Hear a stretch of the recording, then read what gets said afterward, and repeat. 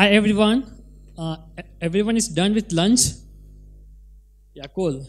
So I will be speaking on TransmogrifAI. Uh, that's framework open source by Salesforce.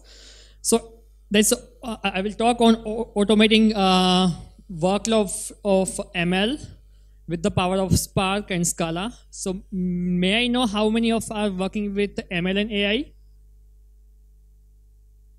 And how many of are you working with machine learning AI with Scala? Cool.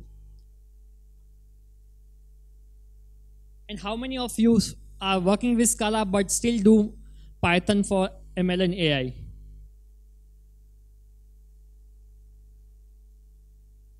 So about me, I'm a Chetan Khatri. I'm technical lead of uh, Accion Labs uh, India Private Limited. I came from India, and this is my first talk in France. I'm open source contributor to Apache Spark, HBase, and Spark HBase connector, and uh, Elixir language. I co-authored the curricula at uh, Kutch University, India. Um, prior to that, I was working for Excella and Nazara Games uh, Corporation in India. So today's agenda will talk about what is TransmogrifAI and why we need that. I will also go through the entire life cycle of uh, ML-based algorithm, and um, we'll talk about how Scala type safety and Spark can give advantage on top of the workload of machine learning and AI. And uh, at the end, we'll go through the Titanic Kaggle example with TransmogrifAI.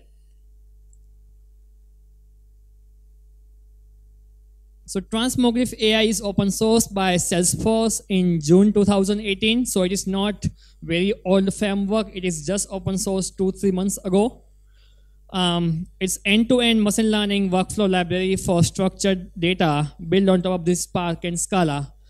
So uh, this framework has built using Spark, Scala, Open NLP, Avro, and Apache Tika, and also Algebird, which I forgot to mention here.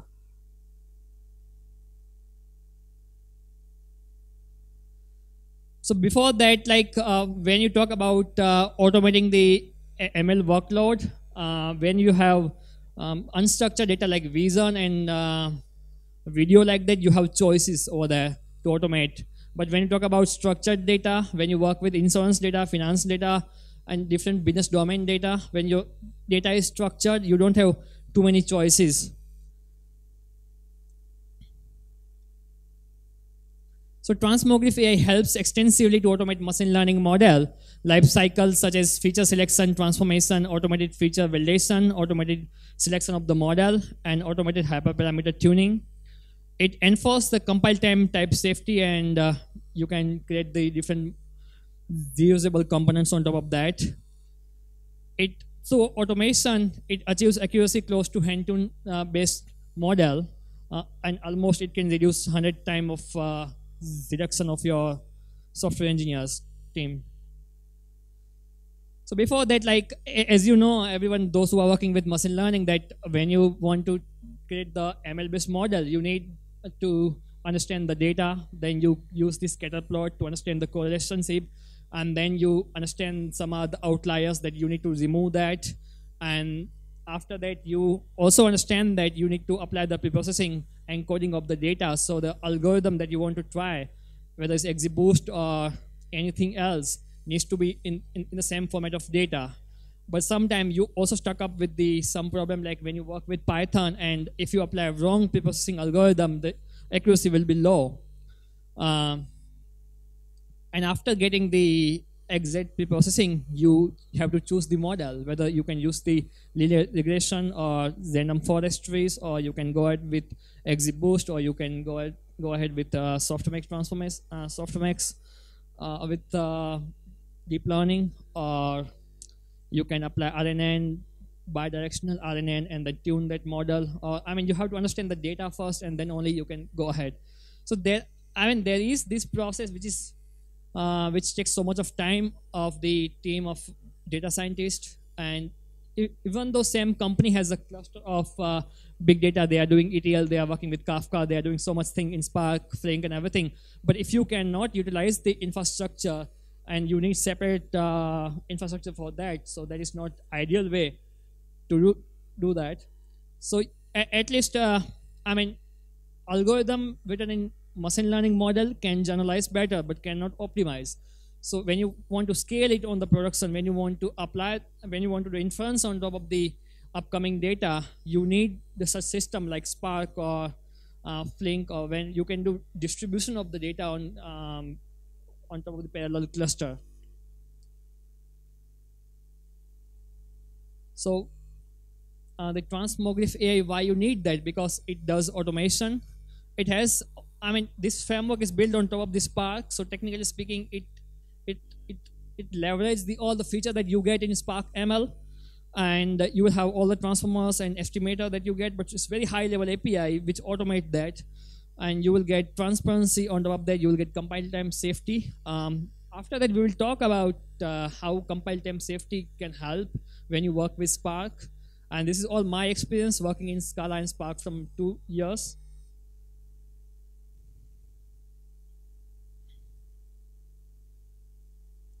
And why you need TransmogrifAI? Uh, uh, there's a three point here. If you want to build a production ready machine learning application in hours, not in months, if you want to build the machine learning models without getting a PhD in machine learning, and if you want to build the modular reusable uh, strongly typed machine learning workflows which which helps you to get the compile time safety rather than getting exception at runtime so i mean those people are working with spark they know um, if you have so many sources like some source in parquet some source in jdbc uh, some source available in file and then you do collect and then it failed at uh, driver because driver get everything data on correct. Um, so sometime uh, you create bigger workflow execution uh, um, engine and on top of that, if you do mistake on the SQL, some people sometimes what happens you read everything and create the view and then you apply the spark.sql and put this big SQL. And in that SQL, if there's syntax error, you will get that analysis error runtime. So assume that you read all the data uh, on the cluster, which takes sometime eight hours. For me, like when I was working with 30 TB of data, it takes it takes eight hours, and and then um, if the syntax error is there, there's small syntax error which job failed, and then you need to again go through that. So I mean, if you apply the compile time safety, that time can be reduced. And why ML is hard, really? Uh, if you see this um, diagram. This talks about your, sometime what happen if you have non-optimal learning rate, incorrect gradient, and overfitting uh, non-optimal regularization techniques like dropout and everything that you apply.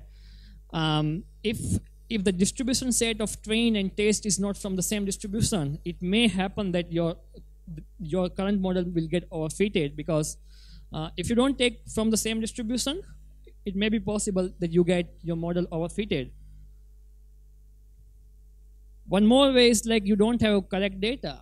The same thing, like your train data and test data is not from the same distribution. You don't have enough data. And sometimes, uh, I mean, customer ask, companies ask you that create uh, model on top of that, but you don't have too much data. So then you need to gather data from ETL or somewhere else.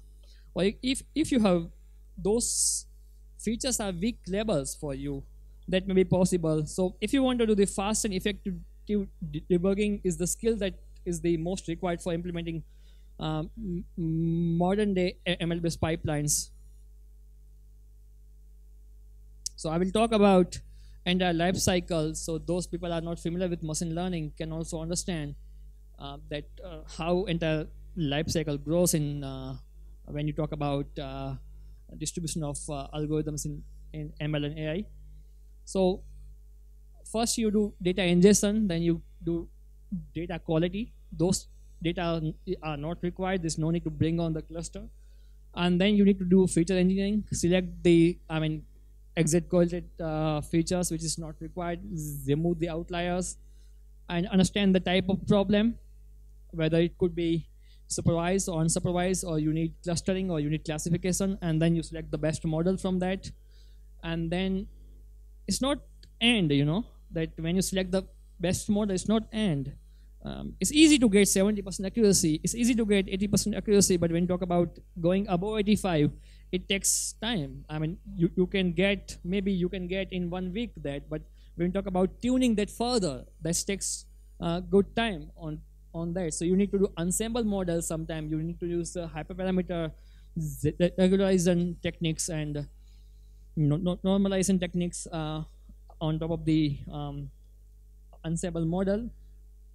And after that, your your correct model got trained on the data. You need to inference on top of that, and inference that you need to provide on top of the uh, scale. Because once you get your correct model trained, you need to do inference on the real production-based environment. So all your application and the platform infrastructure can communicate on top of the uh, inference-based algorithm. So you can integrate with the products. And then you need to scale it and serve prediction to the, all the application that you have. So, I mean, this uh, this is the entire life cycle from development to deployment that you need to go through when you talk about um, creating the algorithm based on ML and AI and do distribution with the Spark. So under the hood, what this framework can provide you is that automated feature engineering. You, I mean, there's no need for you to select what are the features are important. There's no need for you to select that which feature you can take, which feature you cannot uh, be outlier kind of that. Um, it also select automated model and give you the all the available um, metrics like accuracy and false positive um, recall, precision, and everything over there. And uh, because since this framework is uh, open source from Salesforce, Salesforce had good amount of data on CRM and different business domain. So this model has pre-trained on top of that. And you get only, you know, what you say, transfer learning on top of that. And that jar is combined with this library. So I will give you one example that how um, that helps here. For example, here we have um, seven feature. Uh, email, phone, age, subject, zip code, date of birth, and gender. So if you go to email, that that does automatic feature engineering and say that e e email could be spam. If you talk about phone, then it gives you the country code. For example, this is only example in kind of in kind of pseudocode way. So if there's a country code, um, whether that number is spam or not, if the if you give the age, it can give you the bucketing of the age group. And if you get a subject, then you get stop word and top terms, uh, um, TF-IDF detect the language and then uh, does that.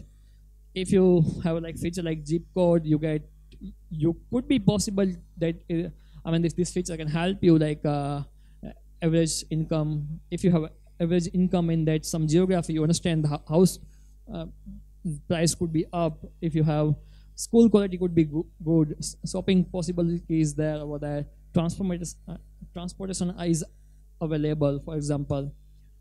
If you have date of birth, sometime when you do pre-processing, you get uh, day of week, week of year, quarter, month, year, and hour, and then you go ahead with that. For example, if you want to predict the whether you can give loan or not to customer from the bank and this kind of uh, data you get. If you have gender it, it automatically does the uh, two binary and give you 0 and 1 because that's what you need when you want to fit your statistical uh, based uh, ml based uh, algorithm on top of this data. And then it it converts everything to feature vector. And uh, this is what automatic derivation of if you want extra feature no feature based on existing feature that you get on top of that. So this is how also not only that, but uh, this is uh, what I mean. You when you talk about feature engineering, you remove the in, in values, um, not applicable values, and you have uh, data which is not. Uh, you have to handle the noisy data and the uh, values here so this this is the some of the technique that uh, data scientists apply, like uh, analyze the every feature column and compute descriptive statistics that is by default in this TransmogrifAI. And you have to handle the um, NA and noisy data. For that, people does the fill NA and get mean average or some closer value based on that and fill that. So there's less probability to get uh, bad accuracy on top of that. So this is what without automation this is what you need to do. You have to get some of this cell and replace by some value which is mean it could be in place and then you can fit the model on top of that. This is kind of pseudocode from numpy and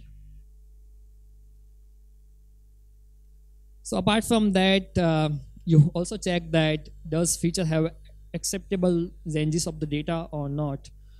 Does that feature could be leaker or not? Is that is, is that usually filled after the predicted field is there or no? So i mean you need to figure out the uh, correlation between the data and the different column features. Is it highly correlated with the predicted field or no? Does that feature is outlier or no? So this is the all process that you do uh, when you work with uh, algorithm with uh, data science and machine learning apart from that, once this process is done, um, the upcoming process after this is what you need to do data preprocessing. So the available uh, statistical based ML based um, algorithm can fit this data because you cannot just fit string data over there. Everything should be numerical. It should be matrices and vectors. So these are the, some of the technique that uh, are popular like uh, data type of feature automatic data processing. You use uh, when you have a categorical data normally uh, popular technique is uh, label encoding and one hot encoding. And uh, when you have the when you want to scale 0 to 1 you can use uh, min max scaler and normalizer and binarizer. Auto data processing based on um, chosen uh, best model that you get that can be provided for, with the TransmogrifAI um, Sometimes you might see those people have worked with different algorithm in uh, machine learning and AI. That um, algorithm like XGBoost uh, specifically requires dummy encoded data, while algorithm like Recentry doesn't seem to care at all sometimes. So I mean, just changing the preprocessing can give you five plus accuracy. So this is one of the important part when you work with lifecycle with machine learning and AI.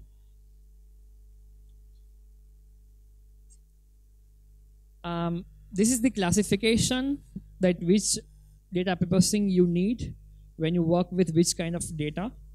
So when you do um, when you do data preprocessing, you need uh, when you have data in form of numeric, you can go with imputation, check null value, log transformation for large range and scaling and smart binning. Uh, categorical data, you have to you can go with imputation, check null value, one hot encoding, dummy encoding, dynamic top K pivot, and smart binning and uh, category embedding. When you work with uh, algorithms to top of the language NLP, uh, you need to work with um, tokenization, hash encoding, TF-IDF, word-to-vector sentiment analysis, and language detection. And sometimes you go with RNN and fit with the uh, sequential model. And when you work with deep learning, so when you work with temporal uh, data features, you can get difference and circular statistics and time extraction like the one I saw earlier example, day, week, and month and year. And game is still not over, you know. It, it is continue, continue, continue. You have different different set and you have to still uh, go through hand tune that uh, every algorithm, every statistical model, and then complete phase by phase, and then you can only get the um, inference. again, you have to tune the learning rate, epoch, base size, and optimizer algorithm, which algorithm you can use, activation function, loss function, and uh, and search algorithm to find best model and optimal hyperparameters. So as of now, TransmogrifAI uses three algorithms, grid search, random search, and bandit methods to figure out best model and give the all statistical summary to you as a developer. So again, some of the examples that to understand the terminology of the machine learning and AI that when you work with hyperparameter tuning, what are the things you need to care about? Uh, like this XGBoost, you you choose the booster in objective binary logistic and depth and metric log loss and eta silent and n3 subsamples sub column tree and minimum weight and delta step and then you decide the number of rounds for that algorithm. So boosting of the tree can uh, do parallelism one kind of internally. And then finally you fit the model and do predict. Um, high level example when you talk about different algorithm in machine learning what you need to take care about is like extra trees classifier and then you use parameter grid and think about you know um, method which can give you the error rate and the to figure out that entropy or Gini uh, and then you do uh, grid search CV to figure out the which can work better in your uh, requirement. So this is how being a data scientist, um, usually people go through this all cycle, usually do one by one, one by one and gather the uh, summary of the uh, algorithm execution and then finally decide what to do and not to do. sometimes some of the people also does this way, uh, train to model and then do ensemble manually.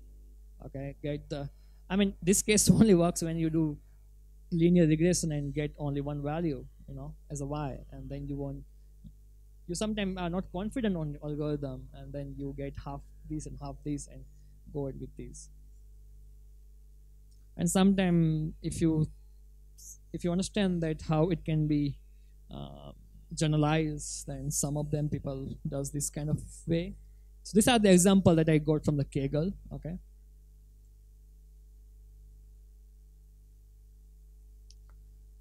So now we'll talk about type safety integration with Apache Spark and Scala. When you talk about distributing of the machine learning with the ETL pipeline, what are the things that you need to take care of, or how this can give the advantage of this kind of functional way of doing the um, internal Spark does for you.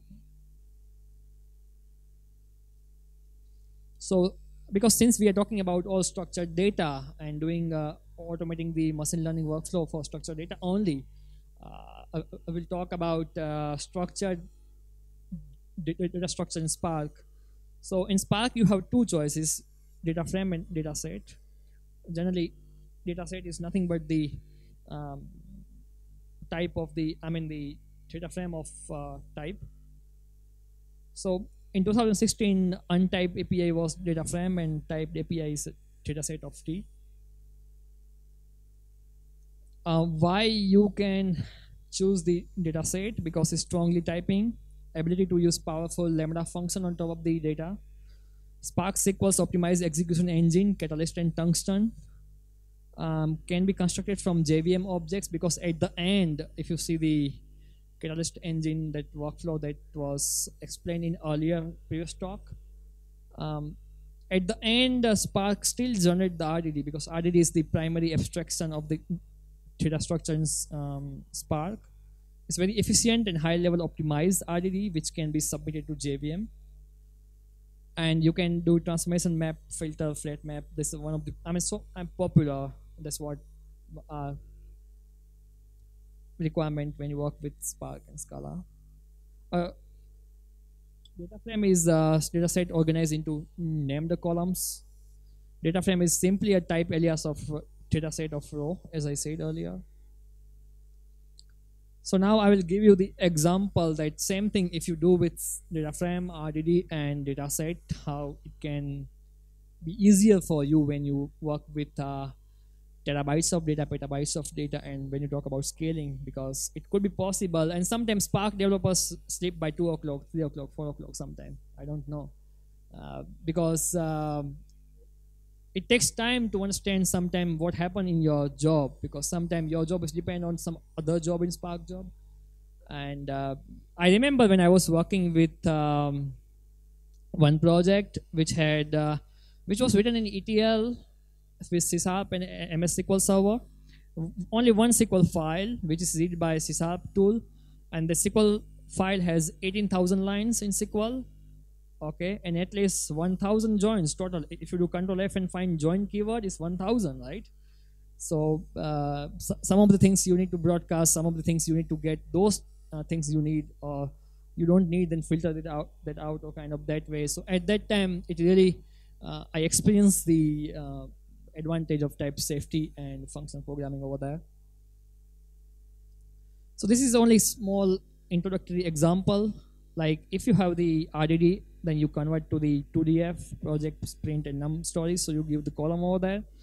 And then you filter that you want only data which is project is finance and group by sprint and aggregation sum function as count and limit 100 and so 100 since spark does the lazy evaluation you get those only data which is required on top of the driver and then only do transfer in case of transfer so this is when you work with data frame api and this is what some people still does you know that gets spark dot i mean create the temporary view because i'm speaking in general i'm not speaking in functionally i mean functional programming community but in general, when I mean, when people are working with Scala and Spark, most of the people come from the background of ETL tools like Talend and Informatica Power Center. Uh, those are SQL developers, so they sometimes prefer to go with this way. And then this way is also not bad in, in terms of because Scala engine converts everything together. But think like that, the way example I gave you, uh, if you have the syntax error in the SQL, if you have the an, an analysis error on, in the SQL, then it will give you the error runtime. And this is a three way you can, I mean, how it's easier when you talk about type safety way of uh, data frame, you can just say data dot group by department average age. And then if you want to go with SQL, second line, select department average of age and from data group by one. If you want to go with RDD way, this is Scala way to do that. This is the same uh, diagram that you saw in previous talk in black and white, but this is color. So the Catalyst engine get the data frame data set and it generates the unresolved plan. Then it generates the logical plan that first to apply, get all the predicate on top of that. Predicate means all the where clause and what condition that you have. So it does first filter and then gather the data on top of the clusters. So shuffling will be very less and then it it generates the op optimized logical plan. It it does the statistical uh, distribution and then choose the best model from the cost model, and then it select the physical plan, and then it again converts to RDD, right? But this RDD and RDD that we spoke earlier, it's not the same because this last RDD is very high, highly optimized and uh, low level RDD it's kind of JVM objects submitted to on top of the JVM.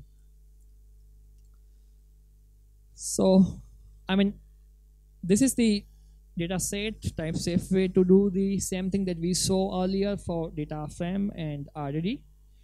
So for example, in this example, we are reading data from JSON file and then we created the mapping in the form of case class, employee and name string and age integer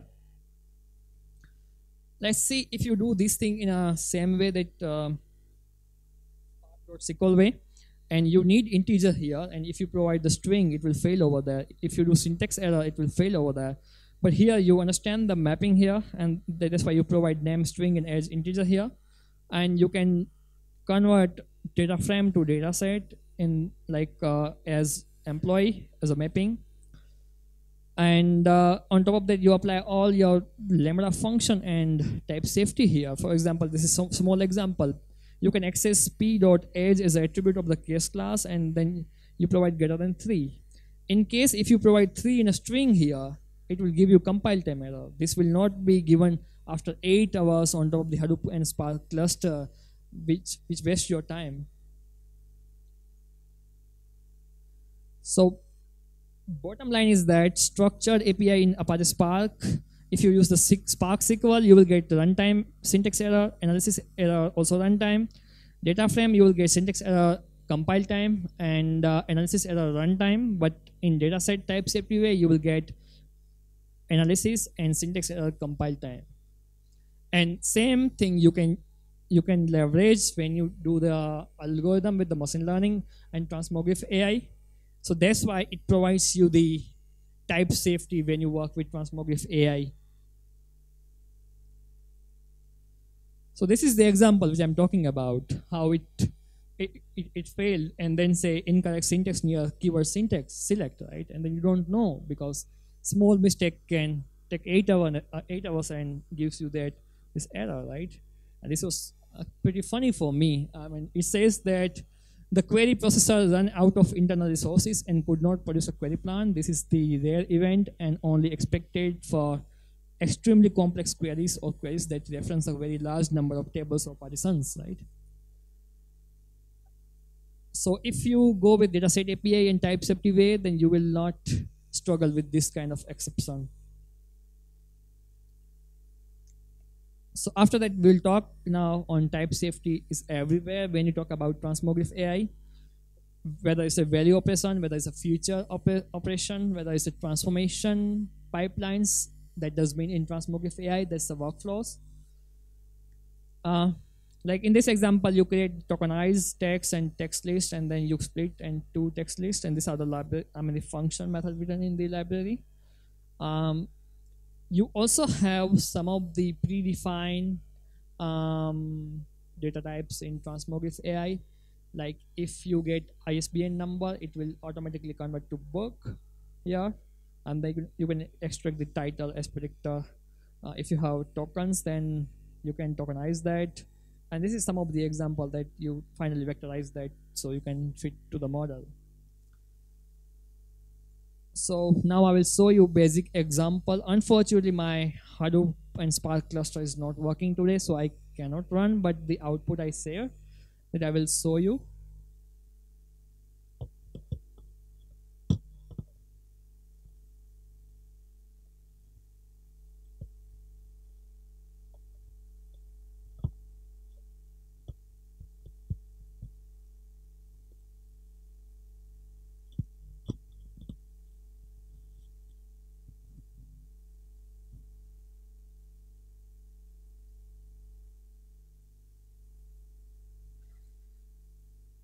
So this is the one of the popular example when we when anyone start with the machine learning, uh, people does the Kaggle uh, problem for Titanic model, whether a person was survived or not.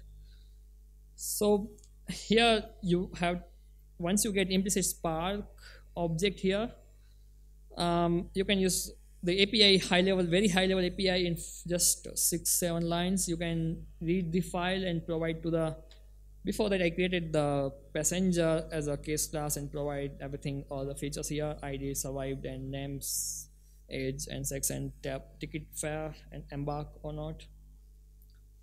Was in cabin uh, that way. And then um, you use the data reader dot simple CSV cache passenger because you want to just map the data structure with your created case class provide the path to the data and key is underscore id to string and read data set and finally 2df um, so you when you want to do automated feature engineering um, you have two things um, independent variable and response variable means uh, what you want to predict that's why so here is survive or not that you want to predict and the features are all everything that on top of that you want to train the model and and get the response. Feature builder provides you the from database and real NN means this is real num I mean real uh, numerical feature that you need here.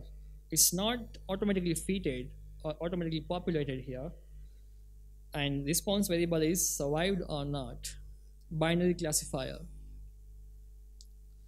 So when you want to do automatic feature selection you say survive sanity check feature vector means whatever you sorry you have to line number 23 this is the only magic here transmogrify.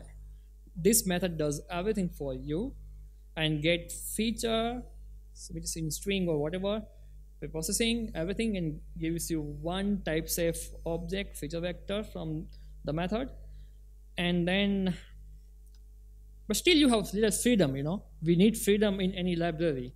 So you want like a ratio of the um, sample subsampling or kind of uh, way. Then you can provide here remove bad features true. Now we'll talk about automated machine learning model selection, um, what it has. So you see pre value prediction and binary classification, select model selector dot with cross validation because you have train set, um, test set and cross validation also, right? Because it's, it's up to the developer, up to the data scientist what he or she want to achieve. And uh, the type of model that you want to use, everything is available. But if you say no, I don't, I know that I want only only this this five since it's a um, binary classifier, I want to only put uh, random forest and lo lo lo logical, uh, sorry, random forest and uh, logistic regression to predict that uh, what, what you want to predict whether that person was survived or not.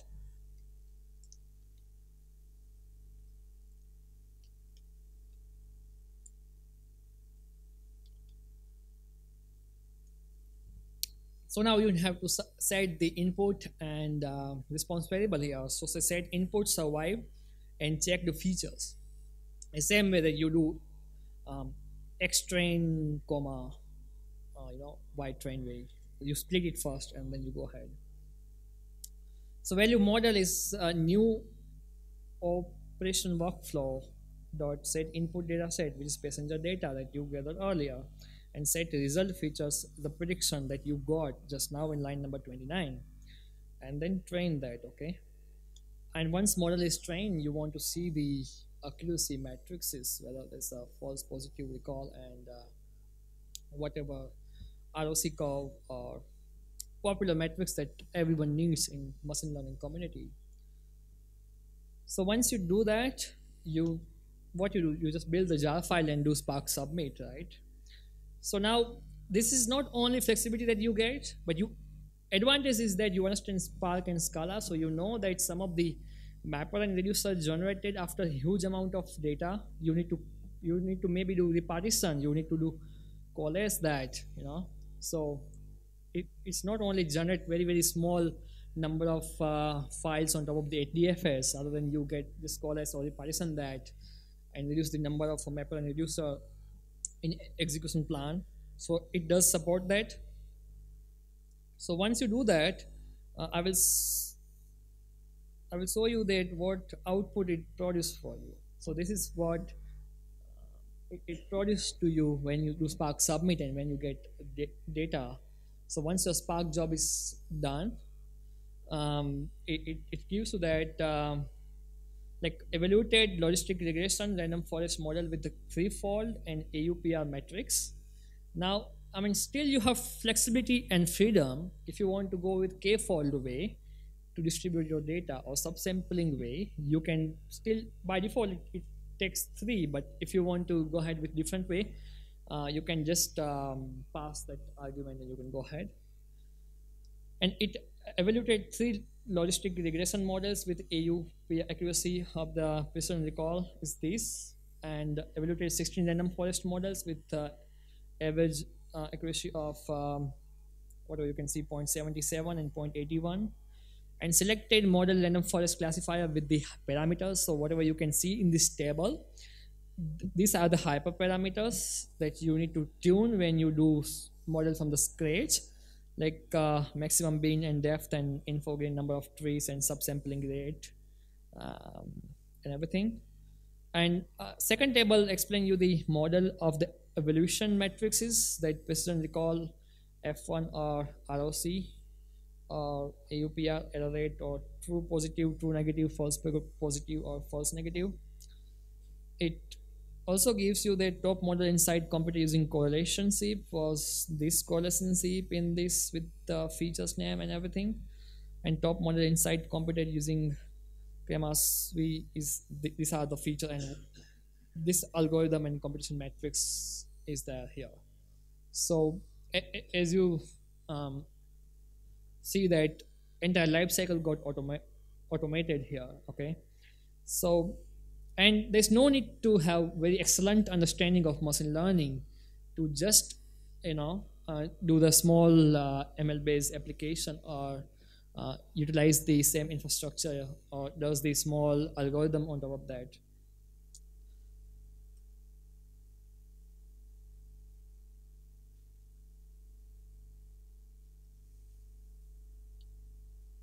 So after that, I will talk about a case story that I mean why we are why we are leveraging uh, AI and how it's helping us.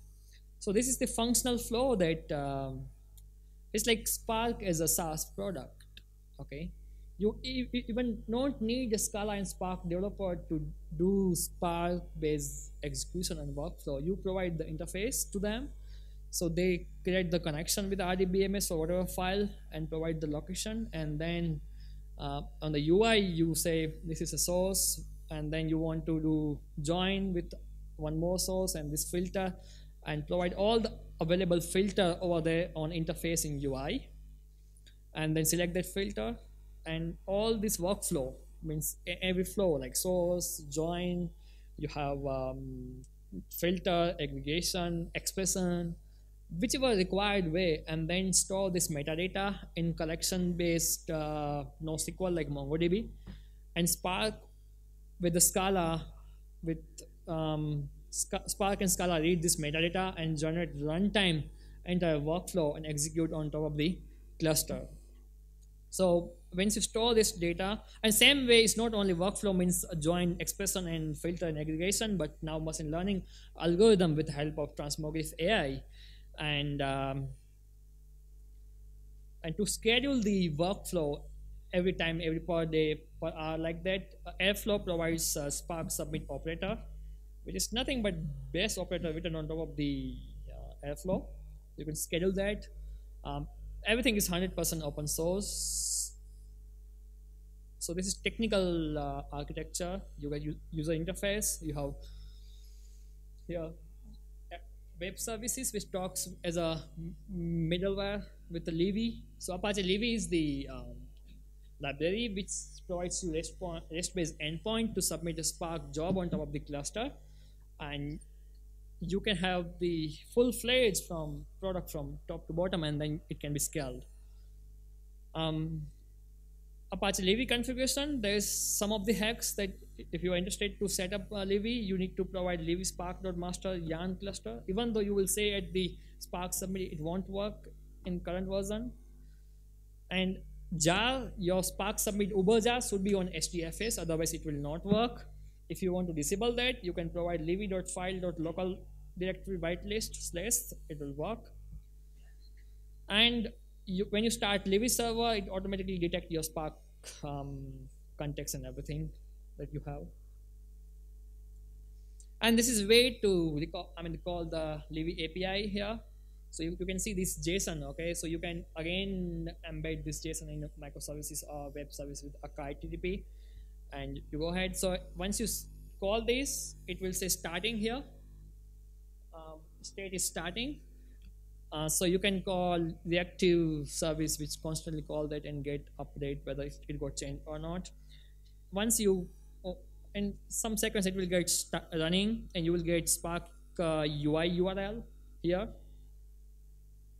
So you can track all the stages and tasks and executors and everything and you understand that. So it, it's, it's, it's just not black box for the user. Okay, user also understand that if they want to understand the stages and parallelism or concurrency and executors number of executor has been taken uh, so it says now success here and all the print println or uh, logger.out that you print you can see here also and you can actually embed these logs on your interface so this i mean people user as a user they even no need to know that whether in the backend spark is running or what is running but they get full featured functional scala with this Spark and type safety for them. Yeah, so thank you. That's all.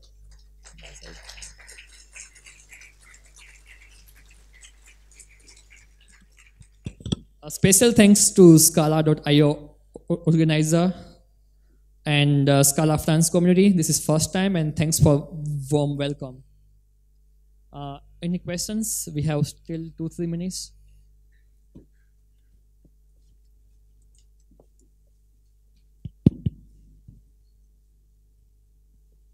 Okay, uh, so I have a question. Uh, so how, how do you think it would be to implement other optimizers in your API, such as triples and estimators, for instance?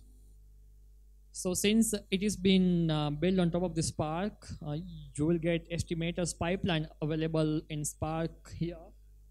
Uh, so in the example that I, I will uh, share with you, that's on GitHub. By the way, I, I will talk these I will tweet this presentation and the source code on GitHub. So I will add those examples over there in the GitHub. So it's same way that all the estimator that you get, uh, pipeline estimators are by default available in this uh, framework. So in here I spoke that this numerous transformer and estimators are available as automation for you. So it helps over there. Yeah, it's just that the difficulty of this particular algorithm is that it has to run on the same machine because it's iterative.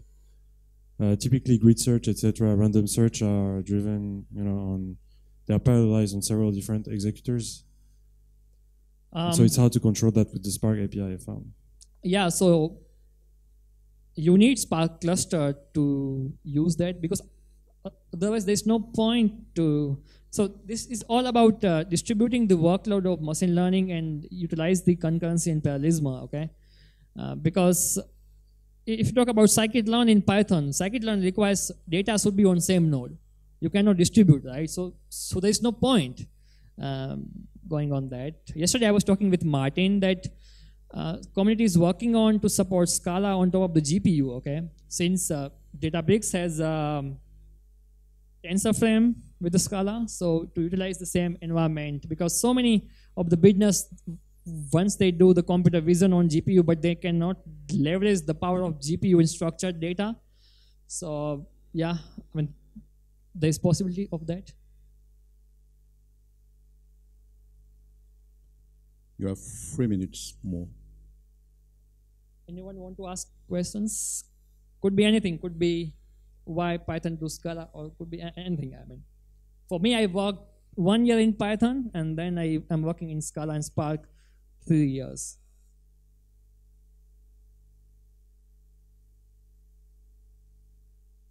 Thank you so much.